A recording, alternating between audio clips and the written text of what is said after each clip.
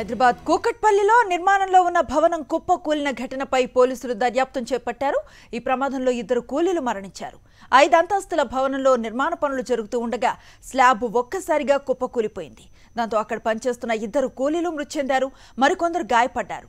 యజమాని నిర్లక్ష్యమే ప్రమాదానికి కారణంగా పోలీసులు తేల్చారు.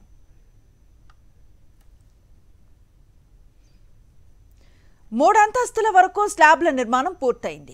నాలుగు ఐదు అంతస్తుల్లో పనులు జరుగుతున్న సమయంలో ఒక్కసారిగా రెండు అంతస్తులు కుప్పకూలాయి. ప్రమాద సమయంలో రెడీమిక్స్ సిబ్బంది ఐదుగురు అక్కడే ఉన్నట్లుగా ప్రత్యక్ష సాక్షులు చెబుతున్నారు. శిథిలాల కింద ఇద్దరు మరణించగా ముగ్గురిని చికిత్స కోసం ఆసుపత్రికి తరలించారు.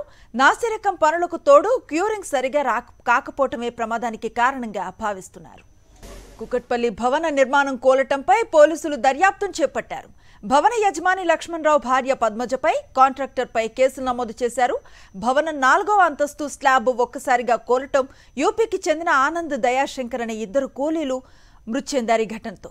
Building owner పద్మజపై three not four three not eight sections కింద కేసు నమోదు చేశారు. జీహెచ్ఎంసీ యాక్ట్ సెక్షన్స్ పైన కేసులు నమోదు చేసే అవకాశం ఉంది. ఘటనా స్థలం నుంచి మరింత సమాచారం అందించేందుకు మా కరెస్పాండెంట్ సాయి కిరణ్ లైవ్లో సిద్ధంగా ఉన్నారు. సాయి కిరణ్ ఎలాంటి వాతావరణం కనిపిస్తోంది? సహాయక చర్యలు పూర్తయినట్లేనా? మృతులకు సంబంధించి డీటెయిల్స్ ఏమున్నాయి?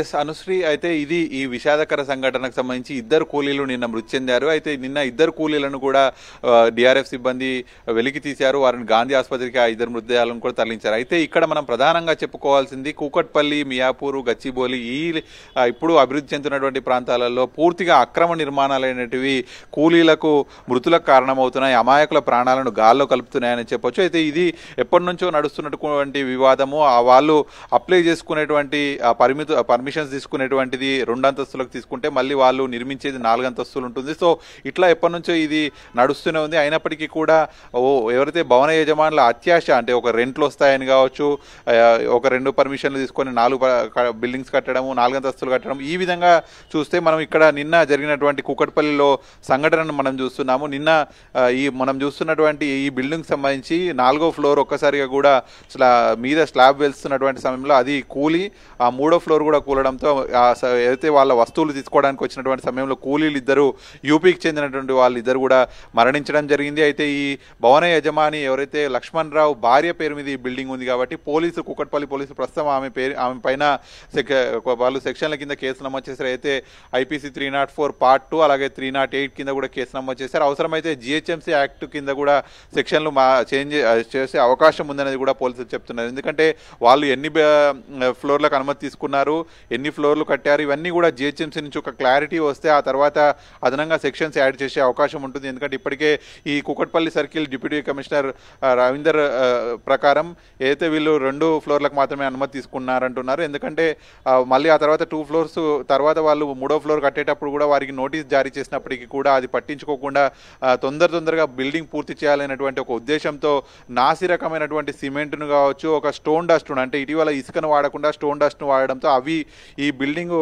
కట్టే సమయంలోనే కూలడానికి కారణం అనేది కూడా ఇక్కడ ఉన్నటువంటి కొందరు అభిప్రాయపడుతున్నారు. ఇక్కడికి వచ్చినటువంటి నిపుణులు కూడా అదే అభిప్రాయపడుతున్నారు. సో ఖచ్చితంగా ఇక్కడ ఏదైతే అక్రమంగా నిర్మిస్తున్నారో అనుమతులు లేకున్నా కూడా మిగతా ఫ్లోర్లు నిర్మిస్తున్నారో అటువంటి వాళ్ళ అత్యాశతో వాళ్ళు కట్టడం వల్ల ఇట్లా కూలిపోయి కావచ్చు కూలీలు మరణించడం ఇట్లాంటివి జరుగుతున్నాయి సంఘటనలు. సో ఇది మా ఒకవేళ బిల్డింగ్ మొత్తం పూర్తయినా కూడా ఒకవేళ ఎక్కువ రోజులు ఉండదు కూలిపోయే అవకాశం ఉంటుంది అందులో ఉండేటువంటి వాళ్ళు కూడా చనిపోయే అవకాశం ఉంటుంది. సో ఖచ్చితంగా ఈ జిహెచ్ఎంసీ అధికారులు కావచ్చు జోనల్ అధికారులు ఇట్లా అక్రమ నిర్మాణాలు అనుమతులకు మించి ఎవరైతే కడతారో వాటిని ముందే హెచ్చరించి వాటిని నివారించాలి అనేది మాత్రం స్థానికులు చెప్తున్నారు. కొంతమంది ఇక్కడ ఉన్నారు. మీరు చెప్పండి దీనికి కూలడానికి ప్రధాన కారణం ఏమై ఉంటుంది? మీరు ఏం చెప్తారు? ఇది రాడ్లు అయితే హెవీ వేసిర్రు. ఎక్కడికంచి రాడ్లు మాత్రం హెవీ వేసిర్రు. ఓన్లీ రెడీమిక్స్ ప్రాబ్లం తోటే కూలింది. ఎందుకంటే రెడీమిక్స్ వాళ్ళు క్వాలిటీ కరెక్ట్ చేయక ఈరోజు లేబర్ ప్రాబ్లం అవుతుంది. రాడ్లు అయితే ట్వంటీ రాడ్లు వేసిర్రు. వర్క్ మాత్రం బాగానే ఉంది. మెయిన్ ఏంటంటే సిమెంట్ ప్రాబ్లం తోటి రెడీమిక్స్ ప్రాబ్లం తోటి ఇప్పుడు జిహెచ్ఎంసీ అనుమతులు లేకున్నా కూడా మూడో ఫ్లోర్ నాలుగో ఫ్లోర్ నిర్మించడం వల్ల తొందర తొందరగా నిర్మించాలనేటువంటి ఉద్దేశంతో అది ఆరక ముందే మళ్ళీ థర్డ్ ఫ్లోర్ మీద ఫోర్త్ ఫ్లోర్ నిర్మించడం స్టార్ట్ చేశారని చెప్తున్నారు. వాస్తవము ఒక స్లాబ్ వచ్చేసి ఫిఫ్టీన్ డేస్ ఉంచాలి.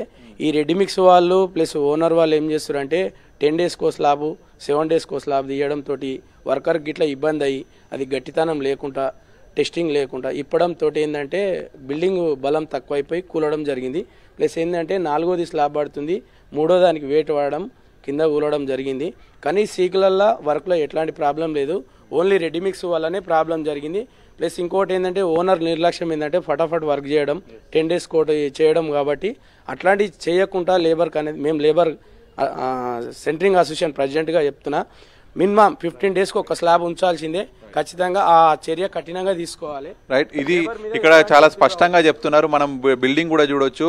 ఇక్కడ ఖచ్చితంగా సెంటరింగ్ అనేది నిర్మించినప్పుడు ఒక పదిహేను రోజులైనా దానికోసం వెయిట్ చేయాలి. కానీ ఎవరైతే అధికారులు మళ్ళీ ఇక్కడ వస్తారో అడ్డుకుంటారో అనేటువంటి ఒక అత్యాశతో ఇది నిర్మించేసరికి వేగంగా నిర్మించేటువంటి ఉద్దేశంతో నిర్మించేసరికి ఇది కూలింది. సో ఖచ్చితంగా ఇక్కడ అక్రమ నిర్మాణాలు అనేటువంటి ఒక ఇప్పుడు ఒక హైలైట్ థింగ్గా మారింది. ఖచ్చితంగా అధికారులు వాటి మీద దృష్టి పెట్టాల్సినటువంటి అవసరం ఇప్పుడు ఇప్పటికైనా ఏర్పడింది. ఎందుకంటే అమాయక ప్రజలు ప్రాణాలు కోల్పోతారు. వారి ప్రాణాలు గాల్లో కలుస్తాయి కాబట్టి ఖచ్చితంగా అధికారులు దీనిపైన దృష్టి పెట్టాలనేది కూడా ఇక్కడ స్థానికులు డిమాండ్ చేస్తున్నారు. Right thank you Sai Kiran